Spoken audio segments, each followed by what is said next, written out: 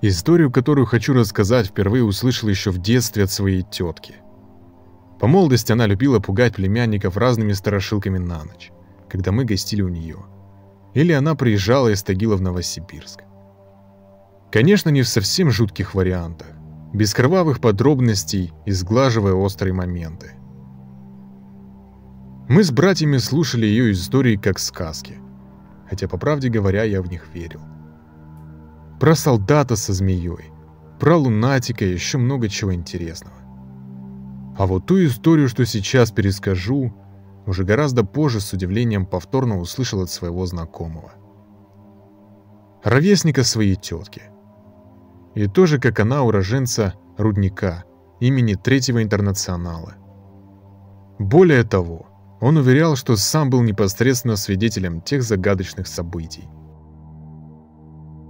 Сейчас трудно утверждать, но предполагаю, что все происходило где-то на стыке 50-60-х годов 20 -го века. Место событий – станция Сан-Донато, на окраине Нижнего Тайгила, или рудник имени Третьего Интернационала, что одно и то же. Моему знакомому тогда было лет 12-14. С приятелями они любили летом по вечерам, набегавшись за день, прилечь где-нибудь в траве на пригорке у железнодорожного полотна – и наблюдать за проходящими поездами. А особенно за пассажирскими. В них за окнами вагонов проносилась иная жизнь. Далекая, незнакомая и манящая. Пацанам из уральской деревенской глубинки вечерние бдения у железки были увлекательным развлечением. Может быть, даже более занятным, чем для избалованной нынешней детворы новая игрушка на PlayStation. Часто компанию малолеткам составлял 20-летний переросток Митька. Парень со странностями. Местный дурачок. Хотя особых бзиков с его стороны никто никогда не замечал. Так болтал всякую ерунду. Словно неразумный отрок. Да хихикал постоянно. Зато и прослыл дурачком. Со сверстниками общего языка не находил. Может, еще и от того, что водку на дух не переносил а по характеру был очень компанейский. Вот и терся с подростками. Постоянного места работы Митька не имел, хотя работящий не пьющий. Каждый день помогал в погрузке-выгрузке вагонов на станции, или же на лесопилке бревна с досками укладывал. Пусть на головку и слаб, зато физической силы и выносливости боженька не обидел. Такими вот приработками и жил. Да, наверное, и пенсию какую-никакую от государства получал по своей умственной неполноценности. От погибших трагически родителей парню достался маленький домик на краю улицы вдоль железной дороги. Местные ребятишки часто бывали у Митьки дома. В неухоженной избе можно было буянить в волю, не боясь чего-нибудь разбить или сломать, тем самым получив нагоняя от взрослых. Уже и так, как говорится, все разбито и сломано до нас – но не только вольная вольница привлекла пацанов. Митька ведь еще рисовал здорово. Все стены маленькой избушки были увешаны его рисунками. Причем по рассказу моего знакомого Митькины картины смотрелись весьма и весьма ничего. Не хуже, чем у настоящего художника. А еще дурачок сочинял стихи. И он только нигде не записывал. Зачитает сходу, а потом и сам забудет но что-то и запоминал. Потом декларировал по просьбе слушателей. Особенно нравилось женщинам со станции, где он халтурил, слышать про любовь. Такие верши иногда Митька выдавал, что бабы плакали. И все выговаривали непутевому парню. «Жениться тебе, Митька, пора. Видишь, какую бородищу отрастила невесты? Нет. Негоже здоровому мужику без жены пропадать». Но Митька серьезных отношений с женским полом избегал. Вернее, даже побаивался девушек. Да и они его наверняка всерьез не воспринимали. Дурачок он и есть дурачок. А вот и жил он один. Дюжий молодой мужик уже четверть века. А бородища у него впрямь была словно у лешего. Черная и нечесанная торчала во все стороны. Шевелюра тоже под стать парикмахерских ножниц не вы... Шевелюра тоже под стать.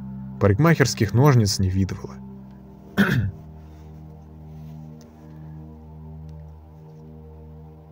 Глянешь со стороны на Митьку. Черт чертом. Разве что без хвоста и рожек.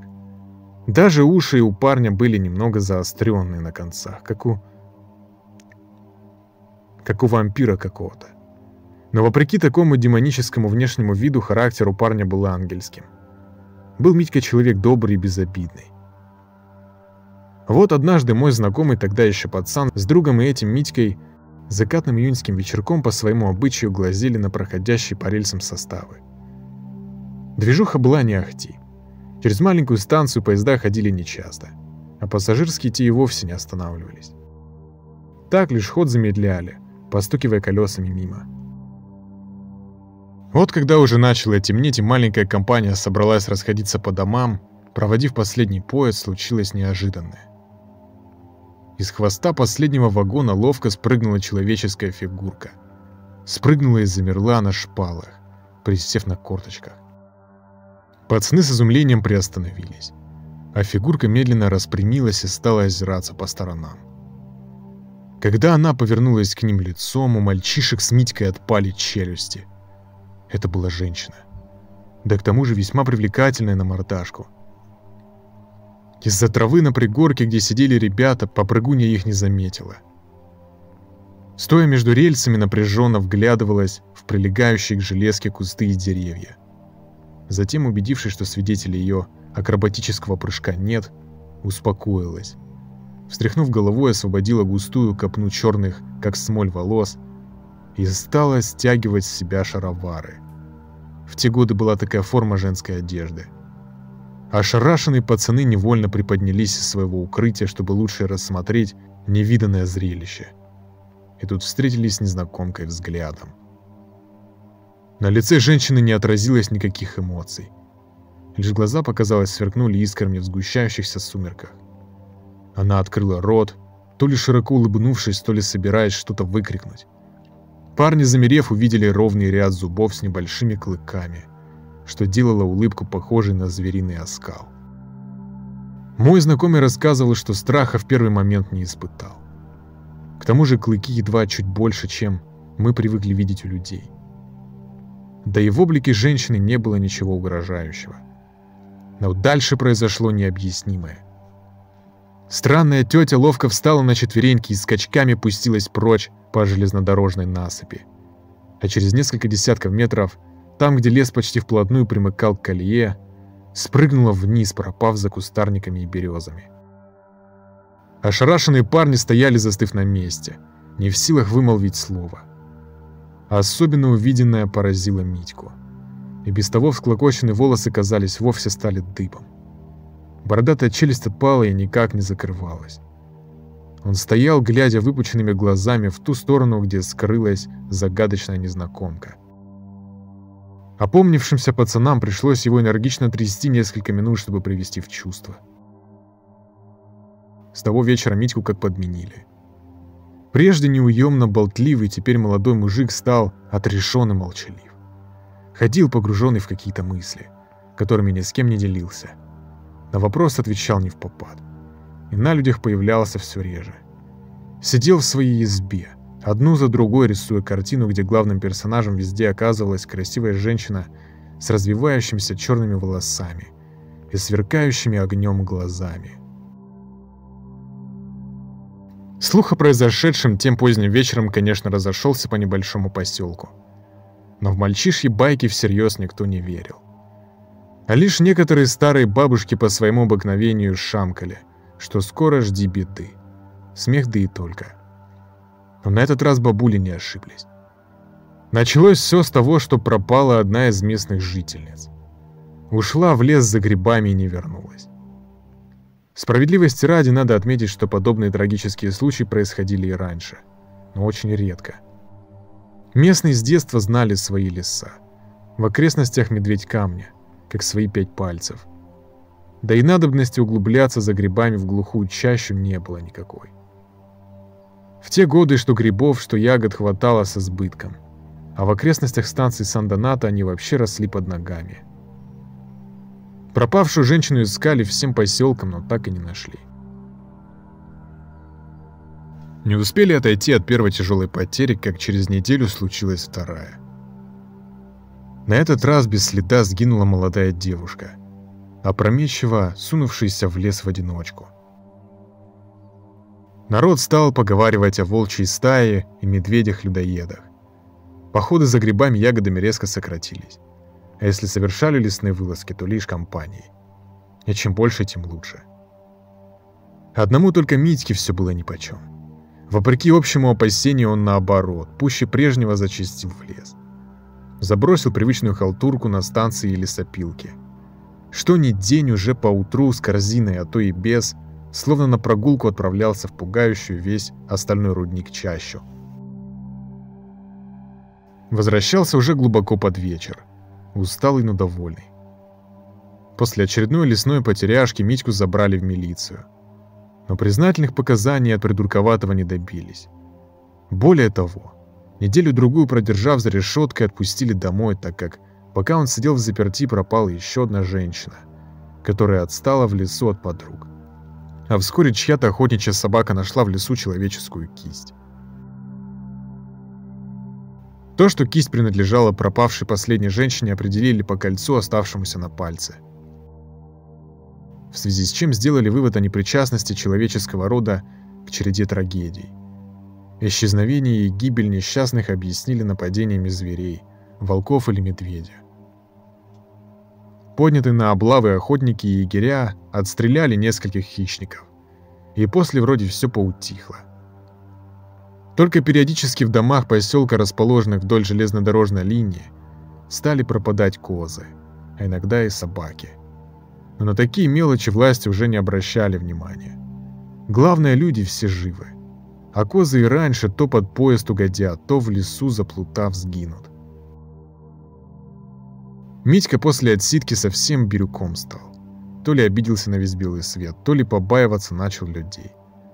Постоянно в лесу пропадал. А как наступили осенние холода, и там стало нечего делать, засел в своей избе и бородатую физиономию почти не показывал. Даже прежде желанных гостей местную ребятню в дом теперь не пускал.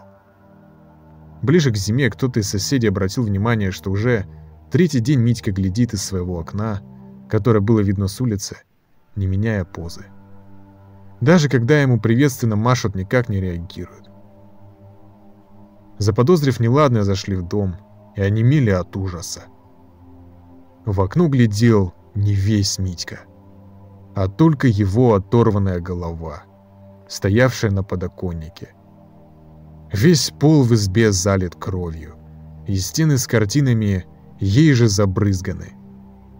Но тело отсутствовало. При осмотре места трагедии прибывшие оперативники выявили интересные подробности. Все указывало на то, что уже долгое время парень жил в своем обиталище не один. За занавеской в углу были сдвинуты вместе две односпальные кровати. По показаниям бывших ранее в доме ребятишек, прежде Митька обходился всего одной. Повсюду разбросана женская одежда, оставшаяся, по всей видимости, еще от матери и до того хранившаяся в сундуке. Да и множество других моментов говорили о недавнем присутствии в доме второго человека, скорее всего, женщины но, к сожалению, начавшееся расследование ни к чему не приводило. А народ в поселке не мог успокоиться. Если уже до такого лесного черта, как Митька, добрался неуловимый убийца, то как спасаться обычным людям?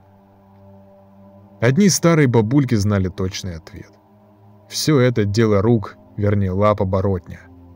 Да, именно так с ударением на третьем слоге называли его старушки – Некоторые, особенно древние, даже вспоминали похожие случаи из своего далекого детства. В итоге все кончилось тем, что доведенный до паники бабушкиными страшилками и неизвестностью поселковый люд в одну тихую ночь заколотил в пустующем Митькином доме дверь со ставнями и пустил красного петуха. Старый домишко вспыхнул, как спичка, когда гудящее пламя охватило все строение, Пробравшись внутрь, окружившие пожарище зеваки вдруг оцепенели от ужаса.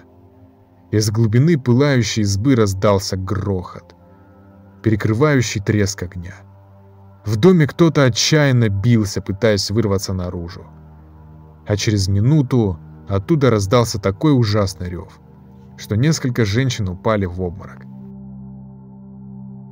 Надрывавшиеся до того неуемным лаем поселковые собаки вмиг замолкли, как по команде забившись по своим конурам. Пожарных вызвали с опозданием. Когда остатки огня потушили, на пепелище торчала лишь черная печеная труба и пара бревен от стен. А утром, расчищая завалы головешек и пепла, дознаватели обнаружили останки человеческого тела, обуглившегося до неузнаваемости. Даже пол погибшего в огне определить не представлялось возможным. Но одна деталь поразила присутствовавших. В ровном ряду зубов, сохранившихся в закопченной челюсти, как два пика торчали клыки, необычные для нормального человека —